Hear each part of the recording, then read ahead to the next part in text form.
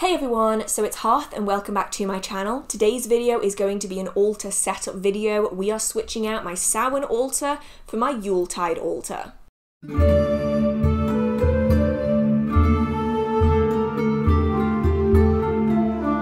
Now, many of you know that I love my seasonal altars. I do them every single Sabbath, or at least I try to, and this season is no different. Now, I usually wouldn't set up my Yule altar till probably the first week of December, but all of a sudden in England it's turned into winter, and it just doesn't feel right anymore to have my Samhain altar up. There's something about this very dark, cold time of the year that I just really want to represent it in an altar. And my Samhain altar just didn't feel right. It was covered in orange and pumpkins and all these Halloween decorations and it snowed last night. So I felt like it was about time to change the altar out, switch it up. Let's get some Yuletide feels going on because I'm currently preparing to put up my Christmas tree on the 1st of December, so it's a really good time to do this. Now these videos do contain some time lapse with some music and I always get asked what the music I use is and I try my best to always list it in the description box and there's other really interesting things in the description box as well such as the link to the podcast and to social media and to my website and all of those things. So if you want to check those out they're linked down below. So with that being said, let's change out my altar. And I'm actually probably the most excited about this particular altar. I don't know why. I just want to get into the Yuletide spirit, and this feels like the right time to do it.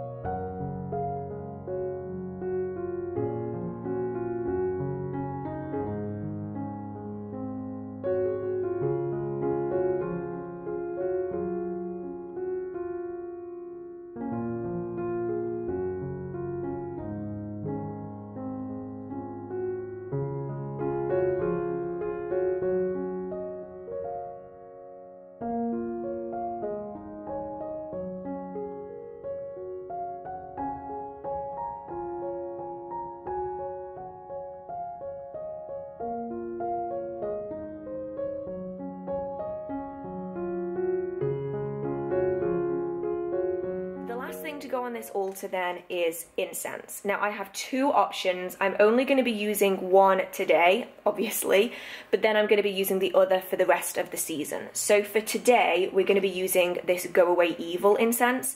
Now I got this resin incense so long ago, I can't even remember when I got it, and I never needed to use it.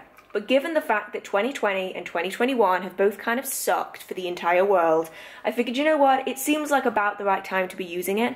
So I'm going to be using this once today, and then I'll be using it again in January. And I think that's really the only times I'm going to need to use it unless something specific crops up essentially just as a monthly cleanse during the winter because especially during this time I don't have the windows open as often as I should because you know it's freezing outside so this is going to be really good for just kind of disrupting any of that stagnant energy. That's really what I'm using this for. The rest of the time, I'm going to be using my Cernunnos incense. I love this stuff. You saw me use it on a previous altar and I really like it. I like using this at this time because I really associate this time of year with Cernunnos energy. I'm not really sure why. It's just like this instinctual thing, this instinctual feeling and it's just the association that I have with deer and forests and cold and winter and all these things. So I feel the need to use the Cernunnos incense with the Cernunnos figure. So that's what I'm going to be doing. I'm currently heating up my oil warmer so that it will be nice and hot for when I put the incense on it. This is a really good tip, by the way, for anyone who doesn't want to use smoked loose incense, because loose incense gets so smoky, you will set off your fire alarm, which is a little bit hazardous. I like using these kind of oil warmers as incense warmers because they heat the incense, they release any of the vapor from that loose incense so you can smell it, but it doesn't smoke and it doesn't burn it. And I just emptied this last night actually of my Samhain incense and I'm replacing it today with some of this Go Away Evil stuff. Now these kind of oil warmers work best with resin based incense.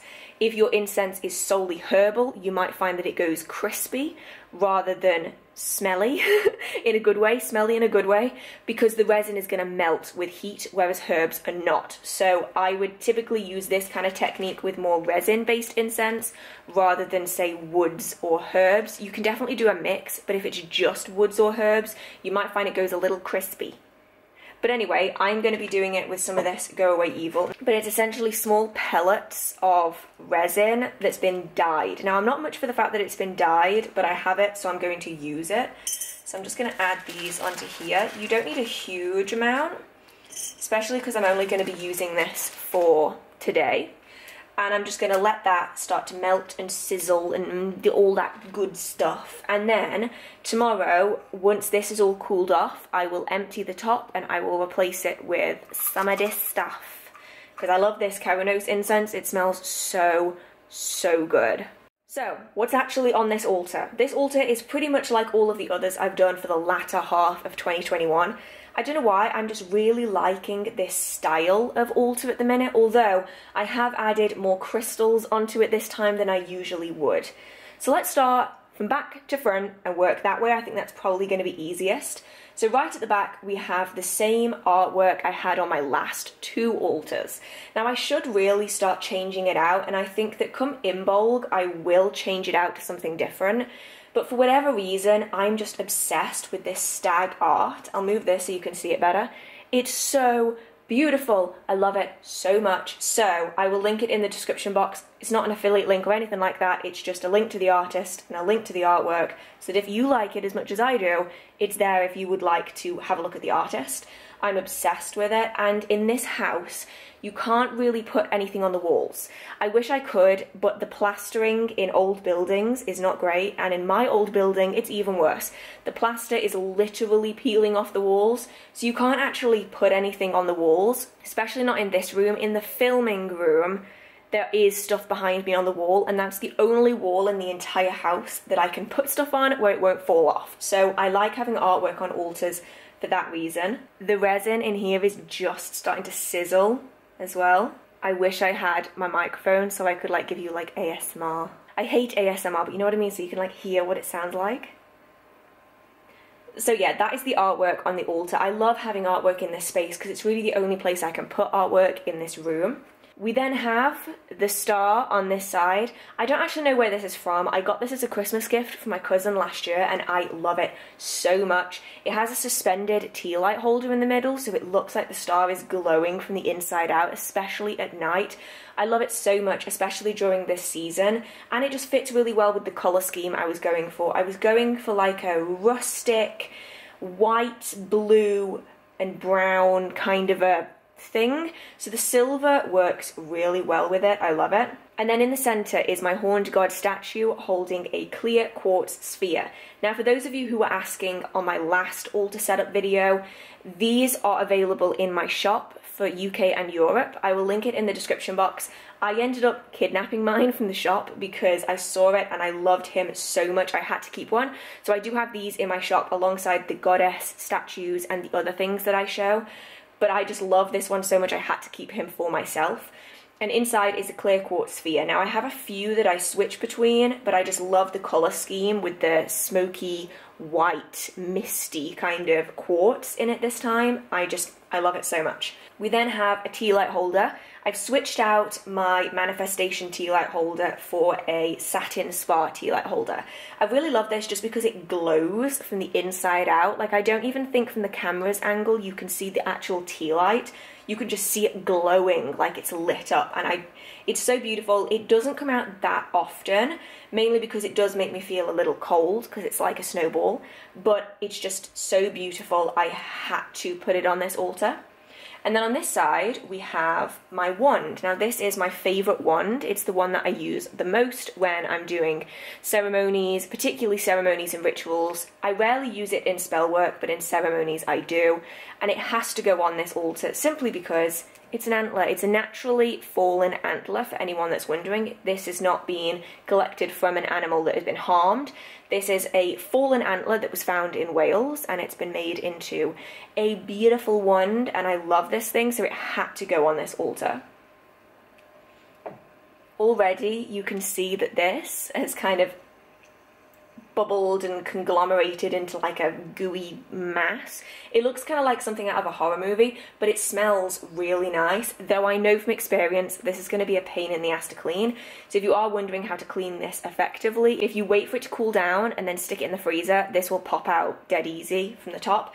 And you can also use like a toothpick and just like wedge a toothpick under the edge, flip it, like flick it up so you're using the motion of the toothpick to lift it, and it just pops straight off super easy, super convenient. That's why I love using these things, plus they're dead easy to clean. Moving on, we have my hearth protection poppet. She has been on this altar for so long, as I mentioned in every single one of these videos. I'm not going to move her now. She is a protection home hearth guardian poppet that I got about a year, maybe two years ago now, and I love her so much, so she's on this altar. I'm not going to move her from her home. We then have a few smaller things, so I have my little um, berries. I did have a set of red berries, like red currants, and I cannot for the life of me figure out where I put them. So if I find them at some point during the season, I will add them on here as well. But these are on here instead of my pumpkins. I would put natural foliage, natural greenery, but because this is an old house, the ventilation isn't very good and it gets quite damp. And because of that, anything that's plant-based tends to rot really quickly. So for this time, I am putting on some little fake berries because it's not worth me risking a gooey, rotten mess because that will be what happens and I don't want to have to deal with that. Then we have the cards. Now, this is actually kept upright with an IKEA phone stand. The cards themselves are from the Living Altar Oracle deck. So I'll get it out. It's currently in my most used Oracle card and tarot card drawer. And it is this deck. This is the Living Altar. I have done a deck breakdown on my channel before that I will link in the description box if you would like to see the rest of the cards.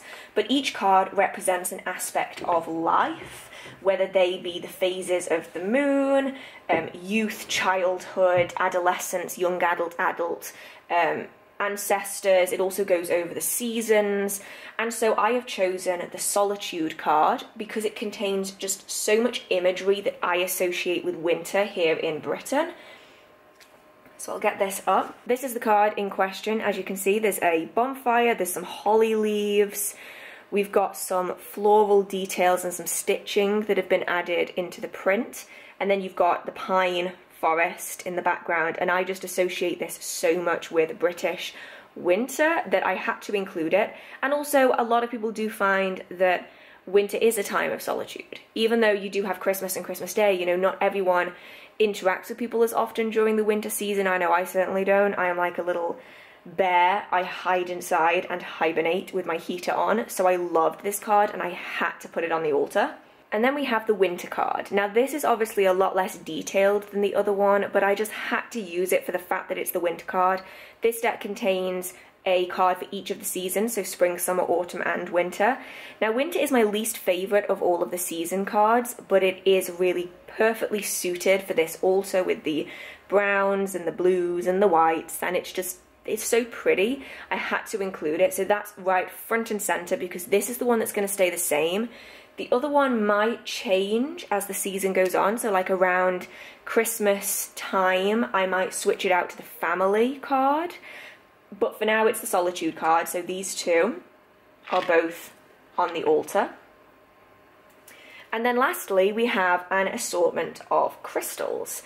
Now, I have a wide selection, well, a relatively wide selection. I've started using more and more crystals on my altar because I have them. I don't buy more crystals anymore. I've kind of moved past my crystal buying time. That was like 2014. So I have a large selection of crystals from when I did buy them from a local uh, cult shop and I just decided, you know what, I should use them. There's no point in having them and then have them sitting in a giant chalice inside this cupboard without anyone seeing them or without them being used. What's the point in having something if you aren't going to use it? So I figured, you know what, let's use it. So on here we have a selection. We have some howlite, we have some snow quartz here at the front, we have some snowflake obsidian. The rest of it is clear quartz, besides one, which is this, this is a bluestone palm stone from Stonehenge. So the summer solstice and the winter solstice are celebrated at Stonehenge here in the UK. And Stonehenge is made of Preseli bluestone, and this is Preseli bluestone made into a palm stone. So this goes on my altar at Litha, and it also goes on my altar again at Yule. So this is on here and I actually did something a little bit different this time because my house is so bitterly cold. It's it's absolutely freezing. I am currently wearing fluffy socks and fluffy slippers and I only took my house jacket off for the purpose of filming this video. So it's very cold. I wanted to bring a little bit of warmth into this space to kind of manifest that a little bit. So I kept all of my crystals for about an hour before I set them up, sat in front of my space heater so they can really get that warmth before I added them onto the altar.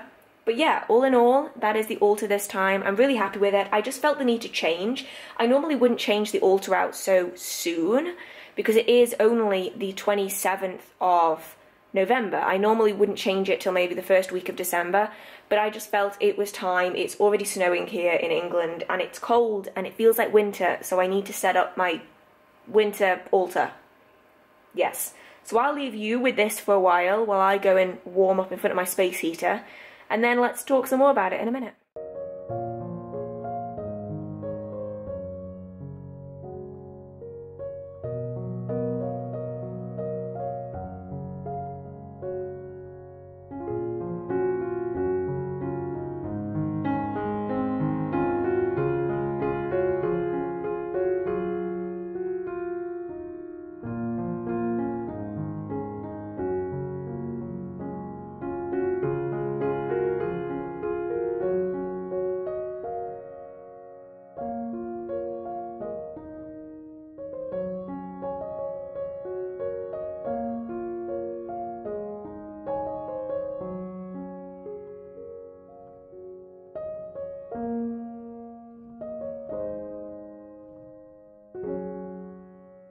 So that is the altar all set up, and I'm so, so happy about it. Now, I know that not a huge amount has changed. The artwork is the same, the statue is the same, the resin burner is the same.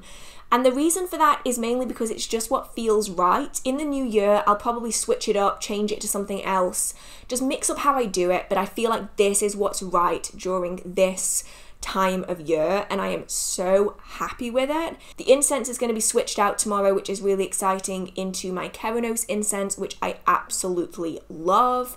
And then I've managed to bring out my star again. My star actually usually lives in a cabinet on the other side of the room.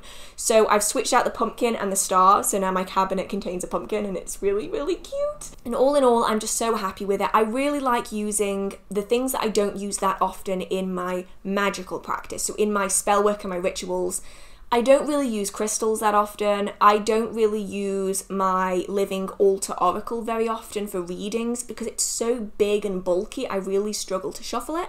So when it comes to altars, I like using things like this so that it gets them used. I don't see the point in owning something if I'm never going to use it. So I like having these things laid out on the space and it's just made it all feel so cozy and so nice. And now I can sit and read at night with my space heater on that looks like a fireplace because they took out all the original features in this house, which is really annoying. Like, there would have been fireplaces in every room and they just ripped them out and plastered over them and it's like ah, sorry off topic but I can just sit at night and read and have my space heater on and have all the candles lit, and it's just, I'm really, really happy with it. Now, I always get asked, do I do workings on these altars? And usually I don't. They're mainly just decorative places. When I do workings, I will do workings wherever I am. I will just sit on the floor. I actually have a floor cushion, like a giant oversized floor cushion, that I sit and I do all of my workings on, and I will just do it on the floor because I'm incredibly messy and I will nine times out of ten knock something over. And it's far easier knocking over like some basil on the floor and just vacuuming it up versus knocking some basil over on a high unit and then it's all down the back and it's down the side and it's everywhere and oh nightmare. So for me I like doing my workings on the floor. My surface altars are for manifestation or they are deity altars or they are seasonal altars like this one. If in the future you would like a video of me explaining how I plan my altars, please let me know. I get asked a lot by people why I choose the things I do, and in videos I usually just explain that it's pretty or it's nice, but there's usually some underlying correspondence there that I just intuitively pick up on because I've just been doing this for a while. So if you would like me to break down an altar as to like why I've chosen every individual thing, is it color correspondence, is it fragrance, is it crystal correspondence or herbal, that that kind of video, please let me know and I will do what I can to do that. Now, as always, thank you so much for being on this channel. If you would like more content from me, I do have a podcast that is all about British folklore and legends. The link to that is in the description box, or you can find it on YouTube as Through the Blackthorn Arch. We essentially sit down every week and we talk about a different folklore or legend from British folklore, and it's really interesting, and I'm so happy with it. I really enjoy the podcast. If you do want to find me on social media, the links are in the description box. There's also a Discord, which is linked in the description box as well. And then I want to say a massive thank you to all of my Patreon supporters. You have been absolutely phenomenal, and I really appreciate all the support that you give the channel. I've just done a massive overhaul on the Patreon with new tiers, and I'm planning on getting back into posting content on the Patreon and doing live streams. So if you would like to check that out, the link is in the description box. And all of the names of the supporters who are in the tiers who can have their names names on the end screen in just a moment. If you do have any questions, comments, concerns, video ideas, or just want to chit chat with the community, feel free to put it down in the comment section. Have you set up a Yule altar? Are you going to? When do you do it? What are you going to put on it?